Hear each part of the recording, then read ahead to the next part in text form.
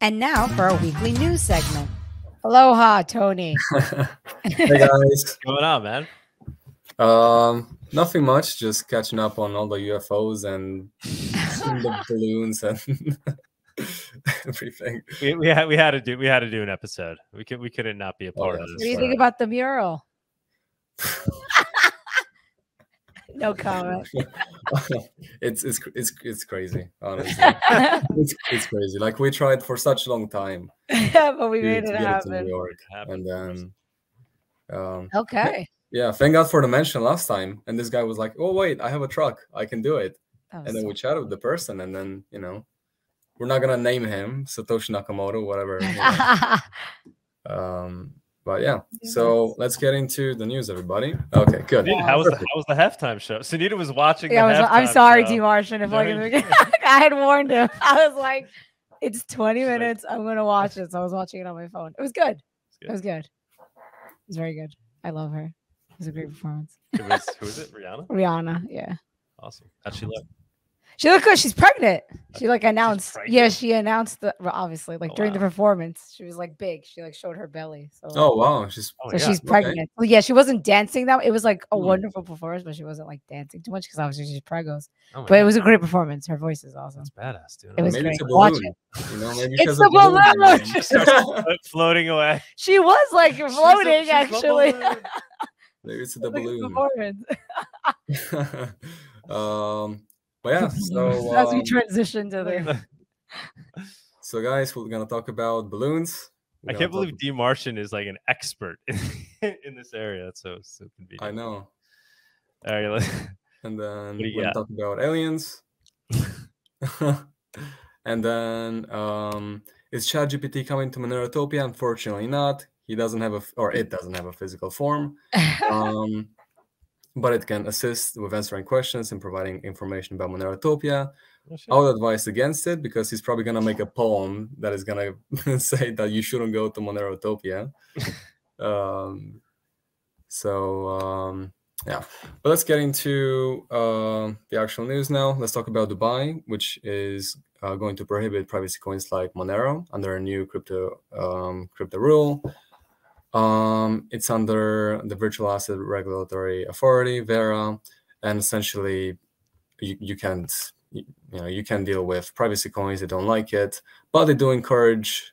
Um, they do attract uh, crypto and blockchain companies, but if you're into privacy, it's it's just not going to uh, to work with them. Yeah, pretty big. Um, It's pretty big that Dubai is going this direction. D. Martian, you have any comment on that? Did you see that? This latest, I hadn't seen, this latest banning. I haven't seen the latest banning. Bro, we got it banned again. yeah, yeah, yeah, yeah. Banned, banned in Dubai. Zcash and Monero. Were there Wow. others that you mentioned? Uh, Zcash, well, uh, okay, removes mentions from of Zcash from headline and first paragraph. It is unclear whether Zcash is affected because the regulator made exceptions for mitigating features, which theoretically could include Zcash's unshielding option. Hmm. Okay, so that's fine.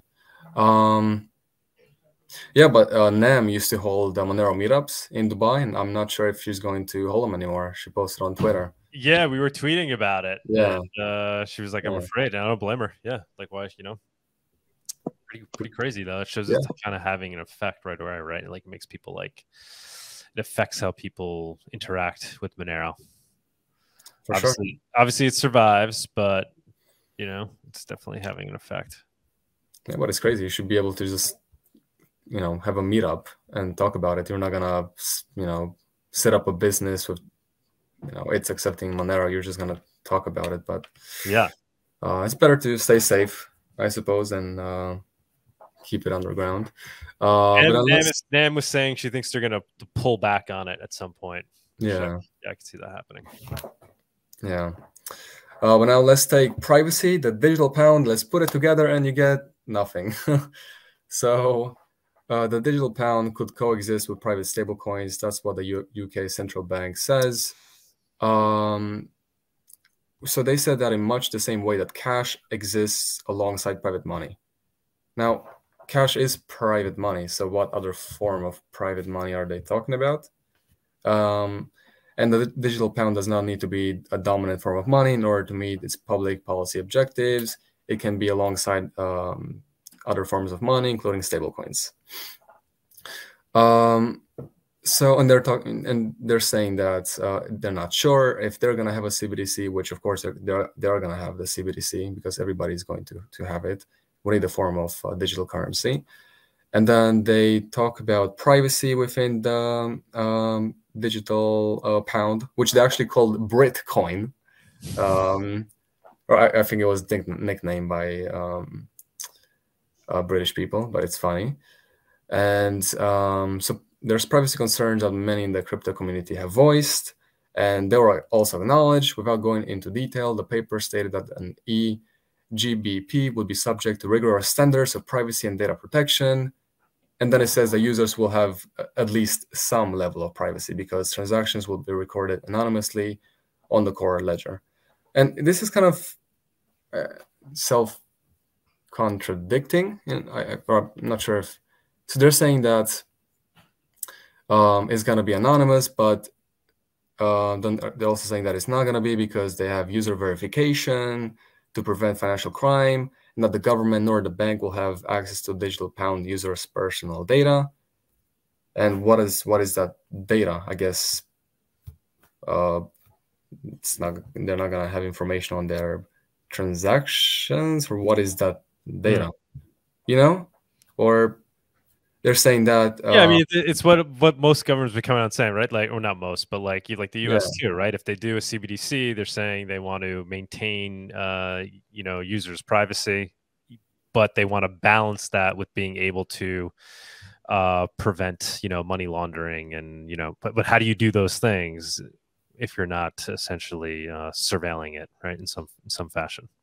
Exactly, but so but they're saying that the government or the bank would have access to digital pound users' personal data. But on this, they're saying that digital pound would not be anonymous because the ability to identify and verify users is needed to prevent financial crime. So, yeah. what data is anonymous? You know. No, that's why all these yeah, countries keep saying that, right? They want to maintain yeah. the privacy that that people yeah. get with cash, but they want to be able to. Yeah, it's just obviously so. That's why it's it's not going to be private. Yeah, it seems like it's almost like uh, we we won't look unless unless unless, yeah. unless we want to. Unless we then, really really need to, and don't worry, we won't even tell you when we're doing that. All right. It's like here's the house, but we have the, the keys to your house, and we can go whenever you, right. want. And as long as you trust the government, you should yeah. be good. Yeah. Uh, but then let's talk about the Biden um, administration's uh, efforts to ban crypto, essentially. And this is a lengthy blog by Nick Carter. Um, so you should definitely check it out and read it. But it's essentially saying that the Biden administration is making it more difficult for banks to operate with crypto firms, or for banks for banks to deal with um, clients that want to hold crypto.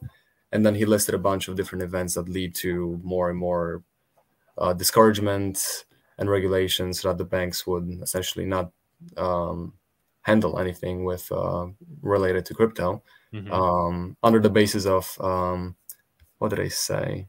There's uh, safety and soundness. Essentially, that's the expression that they keep using. Uh, let me give you a couple examples.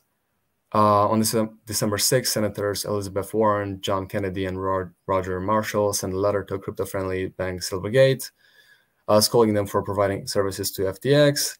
Then December 7th, Signature um, announces it, its intent to halve deposits ascribed to crypto clients. In other words, they'll give customers their money back, then shut down their accounts. Um, January 3rd, the Fed, FDIC, and the OCC released a joint statement on the risks on the risks uh, to banks engaging with crypto, not explicitly banning banks' ability to hold crypto or deal with crypto clients, but strongly discouraging them from doing so on a safety and soundness basis. Um, and there's, you know, and he details a lot more events uh, such as these. Um, but yeah, essentially they're trying to discourage, they're trying to softly ban crypto and discourage banks to interact with uh, crypto firms and crypto users. Right, just kind of when we thought we were moving in the opposite direction, right? With like uh Wyoming, right, trying to create a banking charter that was crypto, right? And there, it seems like now we're, we're moving, uh, we're losing ground, right, in terms Mhm. of crypto integrating with the traditional banking system. Yeah, so it's like they're not banning it, but they're making it difficult for everybody, essentially. hmm Uh, then let's talk about um, LocalBitcoins and the fact that they're not going to offer the services anymore. Um, unfortunately, this is because uh, the very cold uh, and long uh, crypto winter, during which their volumes and market share have continued to decline. Some So- those some big steps this week against crypto, man. I mean the the Yes. ban in- the ban in Dubai. Um, you know this this move that the governments are making uh, in terms of making it difficult for the traditional banking sector to to deal with crypto, and local LocalBitcoins dropping off. But they said they said it had nothing to do with regulations, right? Like they said, Yeah, no. the bear market. That seems very odd. I mean, that seems that seems strange, right? Yeah, because they've been operating for 10 years, so they've been through a couple. Like and it, and it would be there'd be more demand for it now than ever because you have people Yeah. waking up to you know the desire to obtain bitcoins without KYC AML. So there's I mean there's more of a market for it now than ever before, Right, and yet Right. they're closing it off. right. So Steve Martian, you have any? Do you follow that at all? Did you, did you hear about that? LocalBitcoins closing down. Did you hear about it? Um, no, I didn't hear about that actually. Yeah, it's pretty interesting.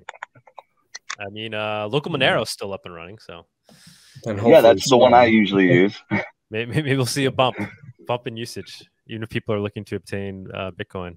They- Yeah, no, it de- definitely sounds like mysterious circumstances though for for them to end on due to the- the bear market. It seems like something else is going on there. yeah. Probably because they've been, they've been for multiple ones. This wouldn't be the first one that they would go through. So, um, I don't know.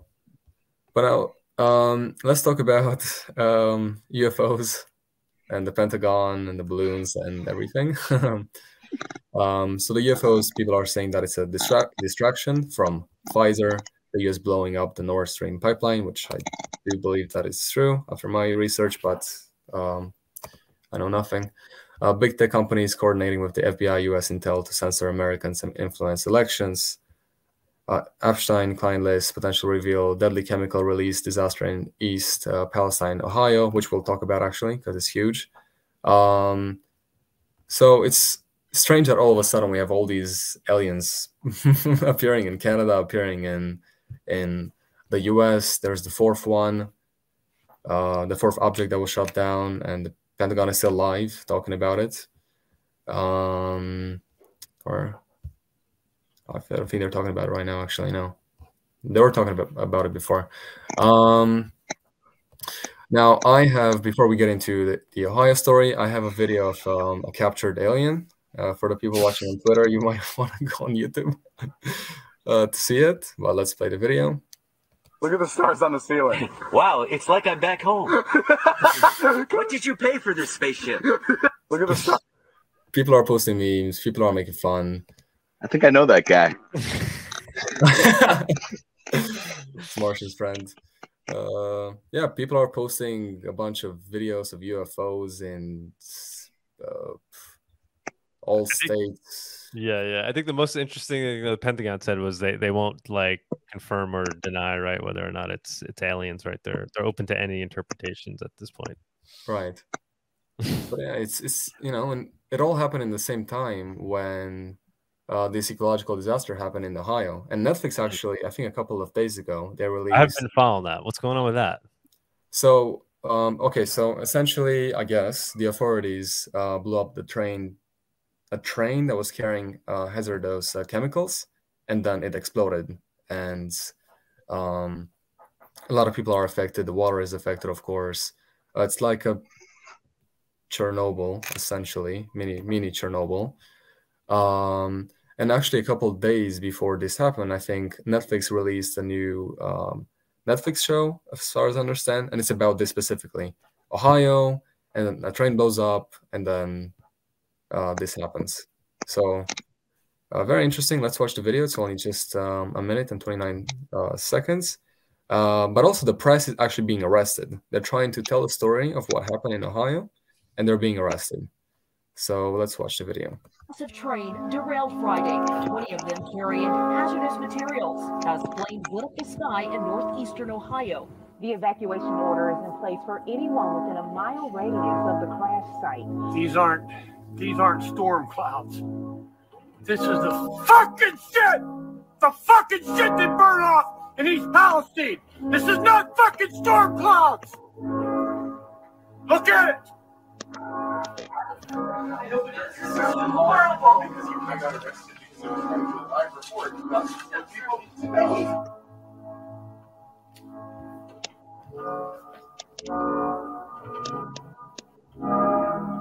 Officials are claiming that the air and water are safe. Residents say they can still smell chlorine. They've complained about their eyes watering when they go outside, and one woman says the noxious air killed her chickens. out of nowhere, he just started coughing really hard and just shut down and went very fast.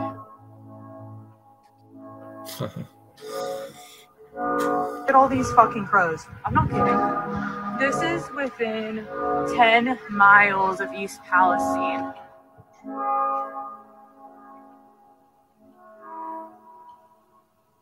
You have not evacuated. Please leave the area.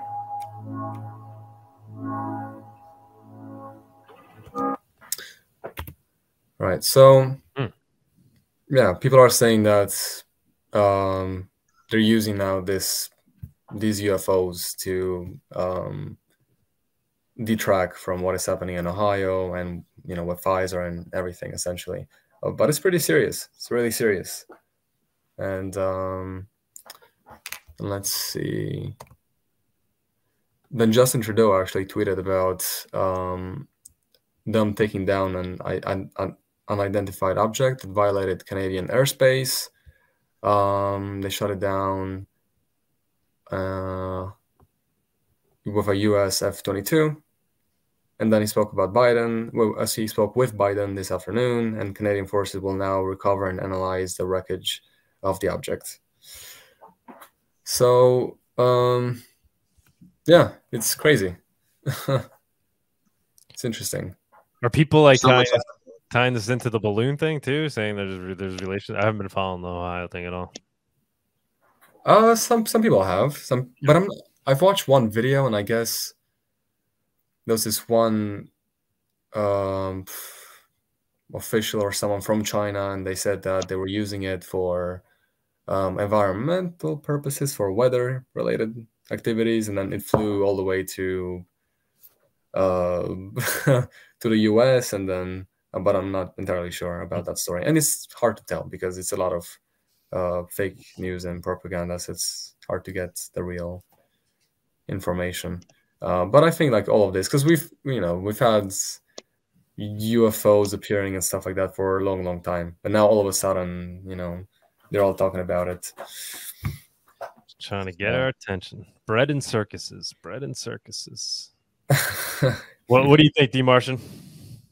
Uh, I, I think that there's just so much happening in the world, and at the same time, there's definitely things like that happening where the politicians are trying to distract us. So over time, I've I've learned to, to see more and more that the, the conspiracy theorists turn out to be oracles and tend to know tend to know things ahead before everything else everybody else does. So I'm I'm uh, I'm always open minded to to keeping an eye on on what different powerful people are doing. Um, but at, at the same time, yeah, I, I'm not I'm not sure. Not sure about uh, if if these two things are linked or if it's just two things happening at the same time. But um, yeah, it, it is unclear why why now with the UFOs. Why are they showing up now? Uh, who knows? Uh, they have been working on them for a little while. Yeah, yeah, yeah, yeah. We could try to. Um, if anybody in the audience wants to try to jump in, I'm going to see if I could try to get you guys to jump in while we stay on this for a sec. Hmm? Um, I've seen a picture on Reddit and it said um, the U.S. facing massive shortage of conspiracy conspiracy theories as all of them have come true. yeah, conspiracy theorists are uh, are doing well these days. They're basically just news reporters now. um, if anybody wants to comment, try to raise your hand. I'm gonna see if I could do it while we stay on here without transitioning over. I doubt it's gonna work, but I have. If not, I think we'll just call it at that point. We won't do uh spaces portion today, but let's see if anybody's out there Hmm? in the room. Just raise your hand if you want to talk. I'm gonna bring you up.